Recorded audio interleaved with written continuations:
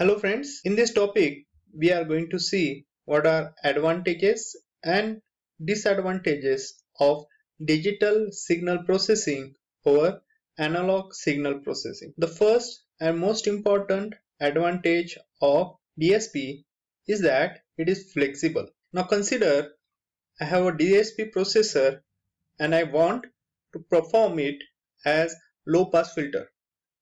What I'll do is that simply I will write a program for low pass filter and put that program in that DSP processor.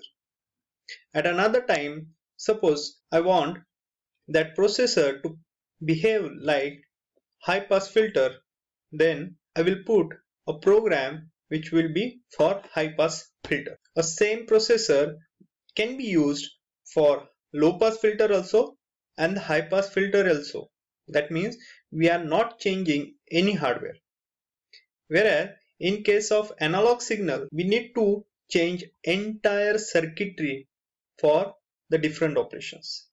In that sense, a DSP is flexible. Second advantage of DSP is that it is very accurate than analog systems.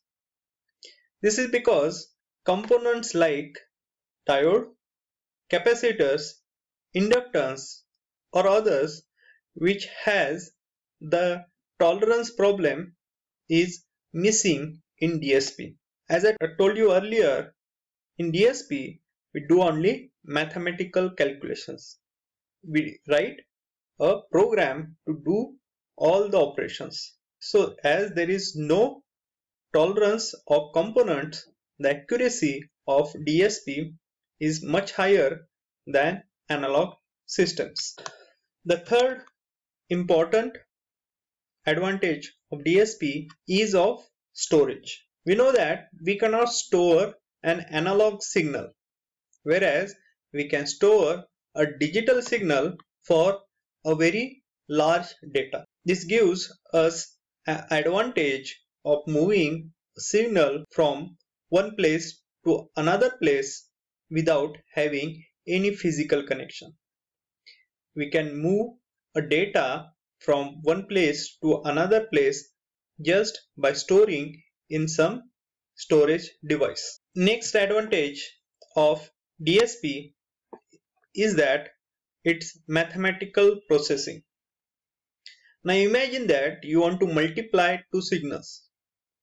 It is very difficult to perform the multiplication of signal in analog signal processing. Whereas in digital signal processing, it is just a mathematical multiplication. And therefore, any kind of mathematical operations like squaring of signal, multiplying two signals, or taking inverse of some signals, it is very easy. Next advantage is cost. In cost, we should remember one very important thing that the individual price of one DSP processor is very high. Whereas a digital circuitry gives us advantage of producing same circuitry with large number and therefore the production cost of per processor reduces and in that sense the cost of a digital processor or digital system is very very less than analog systems. Next advantage of DSP is repeatability. Now you know that there are tolerances in the components which we use in analog signal processing. Resistor, capacitor, inductor and so on will have the tolerances. So the value of those components will not remain the same. Because of that, we cannot replicate same circuitry again and again. Each and every circuitry will be different from each other.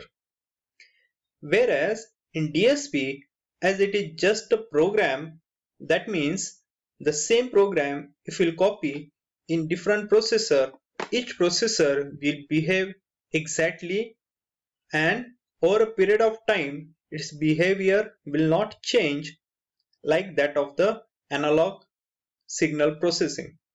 The analog component will give different values at different time. It also influenced by temperature, pressure or ambience around that circuit. Next advantage of DSP is that adaptability.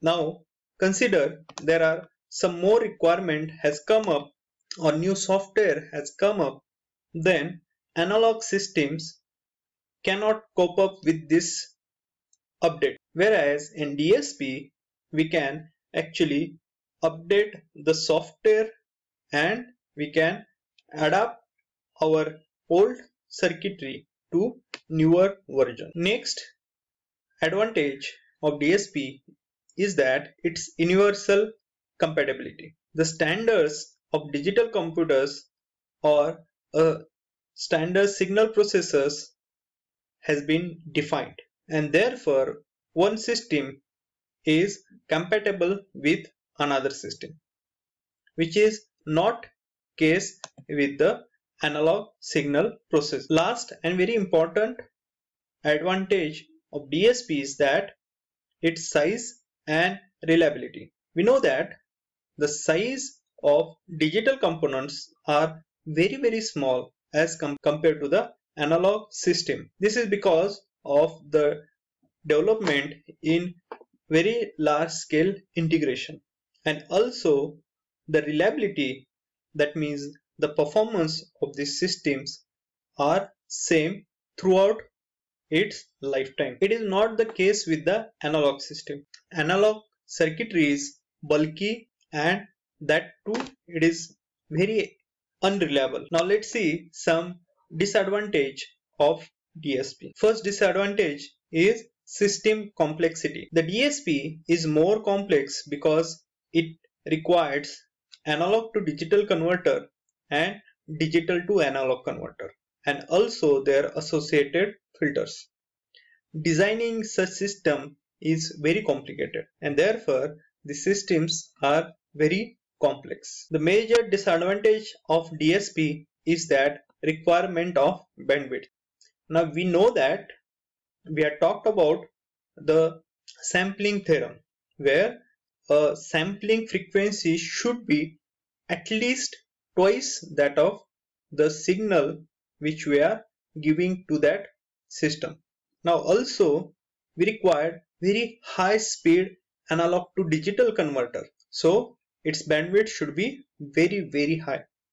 And we know that we cannot have the infinite size of bandwidth. And the last disadvantage of DSP is that its power consumption.